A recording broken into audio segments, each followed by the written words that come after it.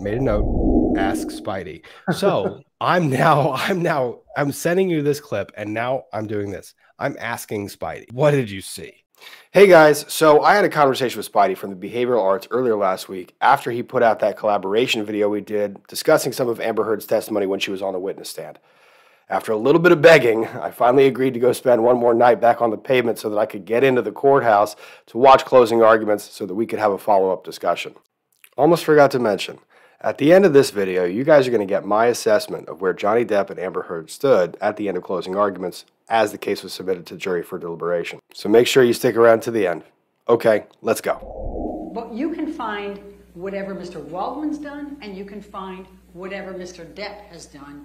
And both of those are the same for purposes of evaluating the verdict form. They stand in each other's shoes. When you have an agent, and that's what the jury instructions say, you can go with both. What did Mr. Waldman do? There was an article about the sexual violence that he had put from the April one that went into the trial. Amber's testimony, she was sitting near him in the trial. Adam Waldman threw that newspaper down in front of her defiantly. All right, Rob, I can't wait to hear your thoughts on this. I really have a feeling you have some great insight on this one. But there's one thing I want to throw at you, and it's about hands and fingers. And I said earlier when we are talking about um, Ben Rottenborn that this is confidence. Steepling is confident. Now, her hands are up here, and I want you to pay attention mm-hmm. to her fingers. When she's talking up here, we see the fingers are pretty out like this as she's gesturing like this. Now, this is called digital extension. When we're confident or comfortable, our fingers go outwards. Even on a table, when we rest them and they move outwards, this is comfortable, it's confident. But I want you to notice something while her hands are in her field of vision to where she could see them, she's got this going on. The moment that they drop to where she can no longer see them, most of the time they curl inwards. The fingers curl inwards. And this is called digital flexion. When our fingers go inwards, you know, because stress is usually tighter, more closed, aggression is closed, fists.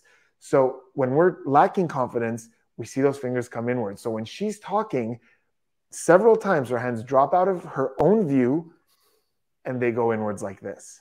It's very rare that they don't. Once her left hand is out here and it stays kind of flat, it's still in her peripherals, but whenever they drop to a certain degree, they go inwards. And it's crazy how consistent that is. It's like over here, she's trying to show this confidence, but the moment it's out of sight, the fingers are going inwards.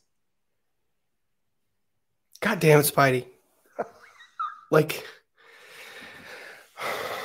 like I had like I I had something to say. Um but now it's like it's like I'm thinking of Elaine bringing her hand down and doing the fist, which is what she does like six times, right? Like I'm trying not to remember because I have to try to remember what I was supposed to say here.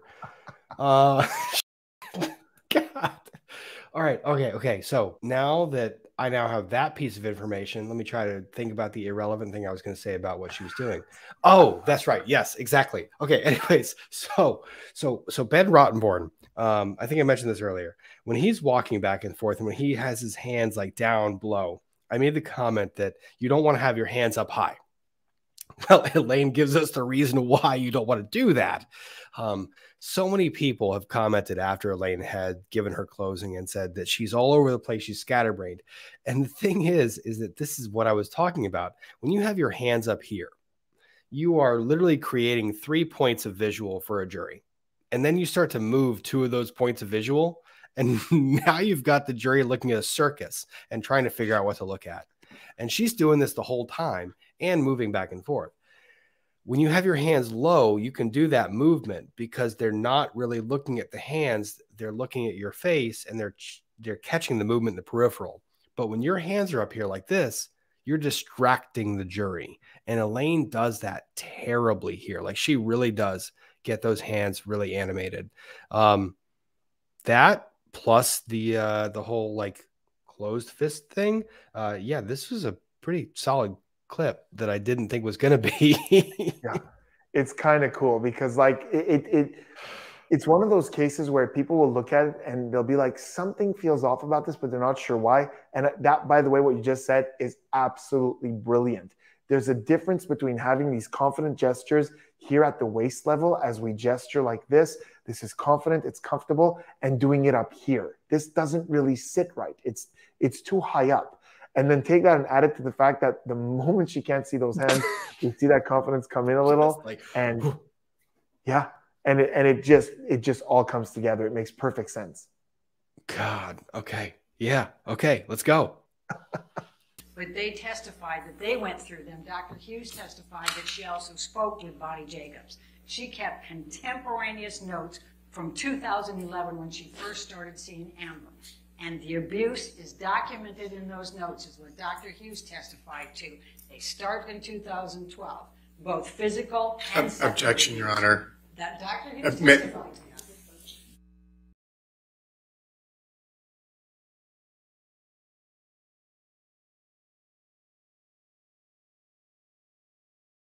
Throughout this trial, it was just a parade of objection, objection, objection to a point where at some point, Elaine just got used to it. Every time an objection would come, she was just like, okay, well, can we, can we approach? Or she would just sort of, and every now and then she got a little irritated, but it became part of the pattern. In this particular objection, there was a little bit more feistiness from her. Like she turned around aggressively, like, and, and she kind of huffed as she moved towards the bench. So to me, one of two things is happening. Either she knew that she wasn't supposed to do this. And it's kind of like, oh, I really wish I got away with this. Or two, she was building up this stride and she was happy with it. And this is her moment. And earlier you said, like, this is an actress, you know, on a stage, and that stride was broken and she's aggravated by that. Rob, am I completely off? What do you feel? Do you feel like I'm somewhere in the right range with this? What do you what are you thinking here? I mean, you're pretty on point. Here's the thing that I kind of want everyone to understand is that a trial, as far as objections are concerned, objections during opening statements and closing arguments are very rarely made. If we go back to that theater diagram that I kind of laid out for everybody, you've got the opening statement, then you've got the evidence, you've got the closing argument.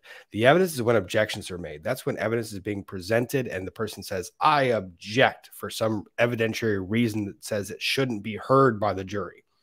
Closing statements are when the, the attorney gets the ability to argue the evidence that's already in there to the jury. It says that someone testified that this was green. Therefore, this is green, Mr. Jury. Um, in this particular case, Elaine kind of takes that a little too far. Uh, and she actually starts to argue secondhand knowledge as if it were primary knowledge. And that you start to see Camille Vasquez get a little animated and she starts leaning forward, leaning forward, leaning forward. And even though decorum generally says you shouldn't object during closing, because a lot of this is leeway and argument, Camille is getting more and more frustrated. You see it in her body language. She reaches over and grabs Ben Chew, like to the point where you need to object to this now. And it's boom, objection. And then you see Elaine fireworks. Now, the cool thing about this one is that juror number seven, he is my favorite attention juror. This guy has the attention span that I would have if I drank all the coffee in the whole wide world and took all of the other things that would make me have attention. I wish I had this man's cup of coffee in the morning because he is staring at everything and processing everything real time. He loves drama. Um, and he loves watching Elaine and Ben Chew fight at counsel table. so the second objection happens, you can honestly see a little smirk come across his face as he watches them walk up to the bench. It doesn't mean anything for purposes of determining what side he is on. It just gives you a little bit of insight to the jury. And sometimes they are really curious about the legal process and watching some of these fights play out. Wow. Okay. So this is our like he he he's drawn to the drama. Like he's here for the he's already thinking about the the book rights that he's gonna shop for and the and the TV series that he's gonna write. I mean, I think he's he's he's also there for the intellectual, just the back and forth between these two tigers in a cage.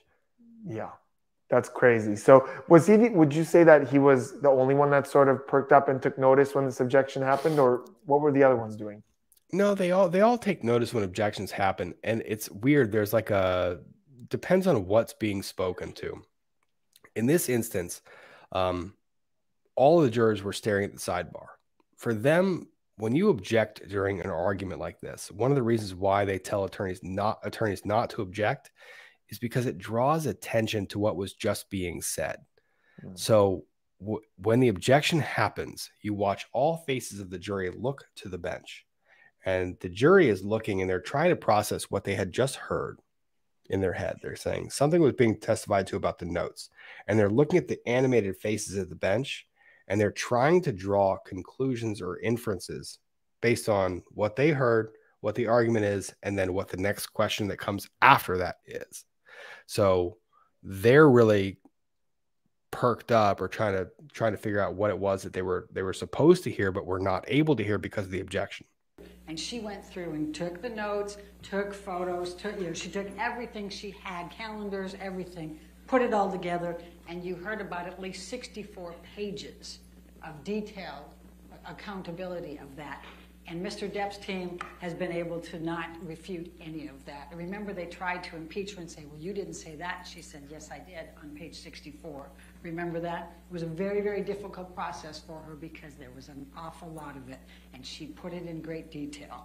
All right. So, Spidey, I chose this clip for you because uh, I was in the gallery.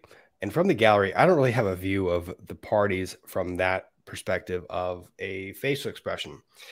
And when you said, Rob, pick some clips, I'm flipping through this and I catch myself looking at this and going, oh my word, I did not see that. And I said, made a note, ask Spidey. So I'm now, I'm now, I'm sending you this clip and now I'm doing this. I'm asking Spidey, what did you see? Yeah, um, that's a special little moment. So, first of all, this entire trial, people have been talking about that face from Amber that she keeps doing. And I want to take some time to talk about it. So, if we compare that to what sadness is supposed to look like, so the most comprehensive research on universal emotions is by Dr. Paul Ekman, who identified the universal emotions, the emotions that every human feels the exact same way. And of course, there's small nuances and differences, and we may not do all the things at the same time, but there's certain ways sadness is experienced across the board. One of them is we do see this downwards sort of bend to the mouth. And this is why we make like smiley faces with the mouth going this way, and everybody understands that that's sadness everywhere in the world. But Amber doesn't understand why. It's not the muscles of the mouth that make us go like this. With sadness, Paul Ekman discovered that a lot of the muscles of the face droop, they relax. And as a result, it pulls the corners of the mouth down. It's not a forced movement. But when Amber is trying to sell sadness, she purposely does this. She flexes the muscle here and pulls the corners down like this. Look how sad I am. But it looks wrong. Even to people intuitively, it looks wrong because that's not the reason the mouth usually does that. Now, the eyebrows, she's getting better at. There were times in the trial where it went more to anger or confusion. She wasn't doing it right. But in that moment, we're seeing the inner corners go up and it's forming the line here that we call the grief muscle. It's usually a line with a bit of a dip. And she's actually doing that part pretty well. There's a few other things that are inconsistent though. First of all, the speed at which the emotion is displayed on her face. It's too fast. Typically, and again, there's no absolutes, there's no, you know, ways it's 100% supposed to be done, but typically it's a slower build something makes you emotional and we slowly build that emotion. For her, here's what happened. We saw her look at the jury, then we see her look for a quick second right at the camera, then back to the jury, then she puts this face on. There's two other things that don't make a whole lot of sense to me personally. The first is throughout this entire closing arguments, there have been much more emotional moments than this. The lawyers have talked about real altercations, real moments of abuse. Elaine's not really talking about much in this moment to make her that emotional. So I miss, I'm not really sure why it's happening, you know, in terms of the story that's being told. And the second massive thing that I want to talk about here is this. As we evolved, we learned as a reflex to hide our vulnerabilities. This is why most of the time when we're talking and all of a sudden we get sad, for most of us, we look down. We hide the sadness because we know in the way that we evolved that if you show sadness, you show weakness, you show vulnerability. So typically, you know, think about it. You're talking, an emotion hits you, and we're in the middle of a speech. You might often see people just sort of look down as they collect their thoughts and then try to come up and do it again. As a reflex, we do this. When she puts on her sad face, she puts it on display. We see the chin go up, as She goes like this. Now, here she did that for a bit, then she went back down. But originally, she did that thing that Amber Heard does where she goes upwards with it. She's displaying this sadness. So to me, because of the mouth, because of how fast it's seen on the face, it and most importantly, how it's on display, this isn't an emotion, this is a performance. Rob, what do you think? It's the dramatic emotion and then the dramatic drop.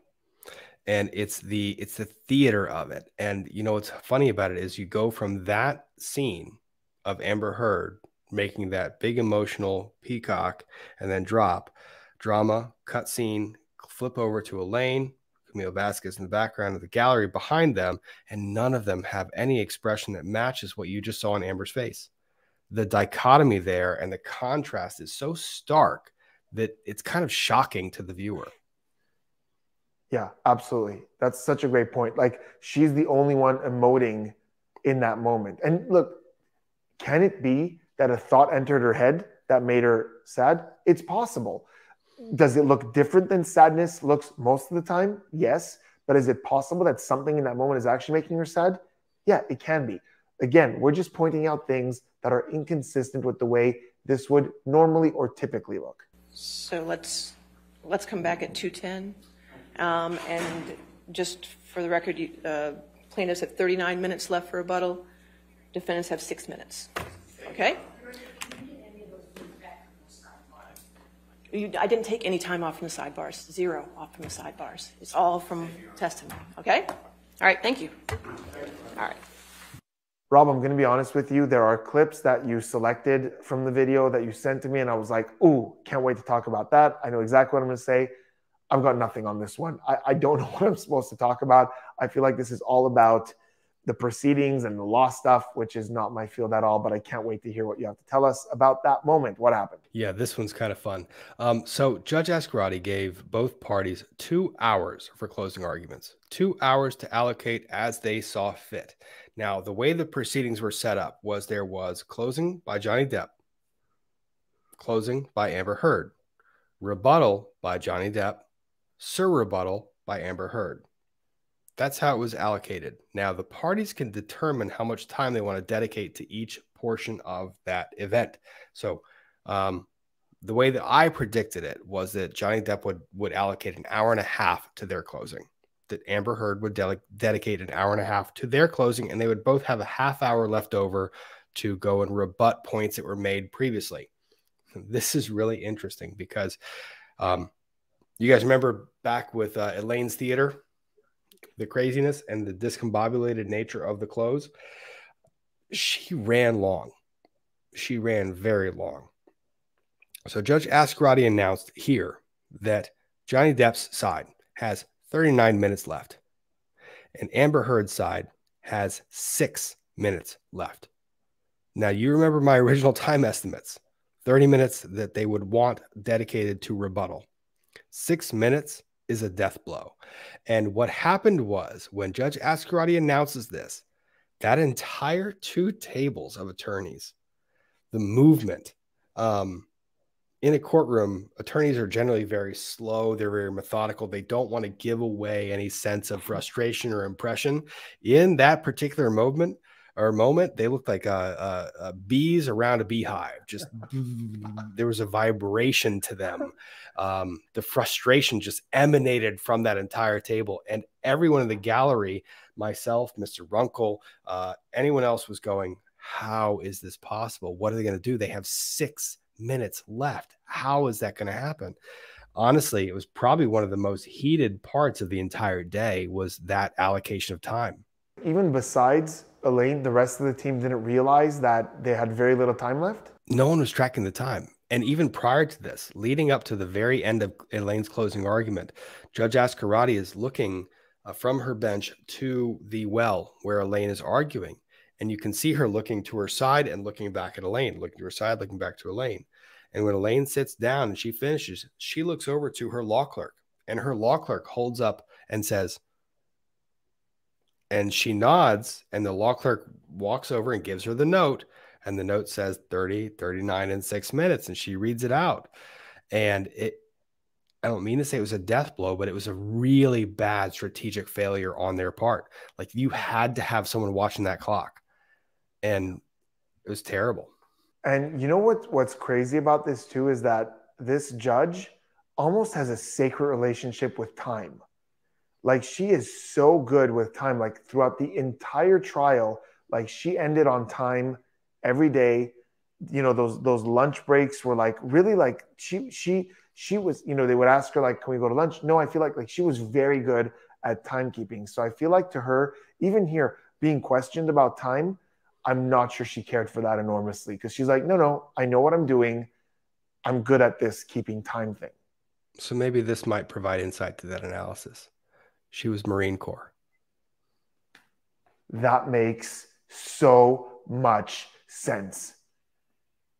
The, the, the timing and discipline that the military teaches, that makes so much sense. I didn't know. I promise you I didn't know. But that that that makes an enormous amount of sense. Yep. Wow. Of course, I agree with that. But the First Amendment doesn't protect lies that hurt and defame people. And there's a difference. Ms. Heard has no right to tell the world that Mr. Depp physically or sexually assaulted her when that isn't true. That's not protected speech. Our U.S. Constitution doesn't protect that speech.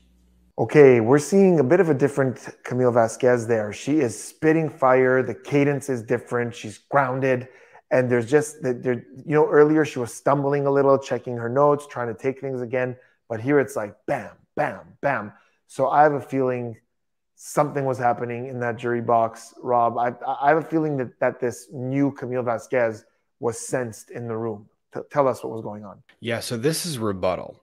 And in rebuttal, you essentially are addressing the statements that were made by the counsel prior to you. So, Mr. Rottenborn and Elaine, you saw Mr. Rottenborn come up and give this remarkable theater, and you remember the whole statement that he made about the uh, the looking into the window of America's favorite pirate. Okay, well now this is Camille Vasquez's chance to speak on behalf of her client in opposition to that and to rebut that, and the emotion that you feel in these words um, play it back again, guys. You know, hit that little rewind button, play it back again. I've seen lawyers practice in courtrooms years and years, over a decade of attorneys trying cases. This is real. When she is making that statement, there is real emotion and strain behind that voice. She believes the words that she's saying. And the funny thing about that one, not funny thing about that one, I think the important part about that one is that when an attorney believes the words they're saying, it is impossible for the jury to not feel that. I am saying that it just it is a truth, it is a factual statement. I don't care what anyone else says. When the attorney believes the words that are coming out of their mouth, that has impact. And Camille Vasquez delivered that in a hammer strike, and that was her rebuttal. Wow. And and that was felt like did you notice that the jury was connecting with that? They were locked on. Every juror was eyes on. Whether they agreed with it or not, Camille Vasquez did her client the absolute favor of giving it everything she had, and the juries respected, appreciated, and were attentive to it. So, Rob, at the end of the day, if we talk about just general mood, I'm not talking about specific body language, but general mood, when Johnny's team is talking and when Amber's team is talking, do you have an overall feeling of who the jury is connecting with more, or is it pretty much the same all over the board? So what's funny is I have two different impressions of this trial. One is when I was watching the evidence. During the evidence, the jury could not connect with Lane Bredehoft. It was impossible. The questions were being objected to left, right, and center. She couldn't formulate a question to get the get the right answer. And her witnesses always went sideways. And instead of trying to get them back on track, she fought them. And that alienates a jury. And you saw that from the jury. Contrary to Ben Chew and Camille Vasquez, who were great at, a, at getting language and information out of their witnesses. So during the evidentiary portion of this trial, I would say that you've got no question that Johnny Depp's attorneys were more attractive to the jury as giving them information they wanted to hear that script changed dramatically at closing. where you had Camille Vasquez deliver a very impactful closing argument. And then you had Ben Rottenborn, who I've had this conversation with Ian Runkle. Um, Amber Heard's team, if Elaine had just stayed in her chair, you had Ben Rottenborn giving that delivery, and you would have had that theater. I, I thought I thought you saw the two best attorneys in the courtroom that day, Camille Vasquez and Ben Rottenborn. And you know what's funny? The jury saw that too. They saw two equal competitors and they viewed them the same and they both had their engagement. It was honestly a wonderful thing to see from an attorney's perspective. So, yeah. I want to thank you so much for your time. Once again, this was such valuable information because, you know, lawyers can look at this footage and have opinions, behavior analysts can look at this footage and have opinions, but having someone who understands both those things at the degree that you do, both law and behavior analysis and body language, actually being in the room, I don't think there's more valuable commentary to be had on this entire trial. So thank you, thank you so much for your time. I really appreciate it, Rob. And uh, I guess we're going to see this week how this whole thing uh, concludes. Thank you very much, buddy, and thank you for the very big compliment. I, I, very much appreciate the work that you do, and I love watching everything you put out, buddy. Um, guys, this this guy puts out great content and has insanely good analysis. And yeah, I guess we'll find out later this week uh, when the jury comes back with a verdict. So until then, we'll see you later. Excited. See you, everyone. So there it is, guys. I hope you enjoyed our take on closing arguments. I expect we'll have a verdict at some point in time this week, so we'll finally know how this Johnny Depp Amber Heard saga comes to a close. If you enjoyed this video, please remember the second part, or part one, however you want to call it, is over on Spidey's channel, The Behavioral Arts. So make sure you go check that out as well. Spidey puts out some great content and analysis of everything from Will Smith slap heard around the world to testimony given in open court, so I put his channel in the can't miss category. One last thing. Before I let you go, I know that some of you are going to have some comments or questions on my take of how the parties ended up after closing arguments. If you wouldn't mind, go ahead and leave those questions in the comments below. And if you have a specific question, body language related, for Spidey, related to closing arguments, if you drop a pin with a timestamp from the trial testimony, maybe we can get enough comments and questions to have Spidey come on over to help do a follow up video. Thanks, guys. Hope you have a good one. See you later.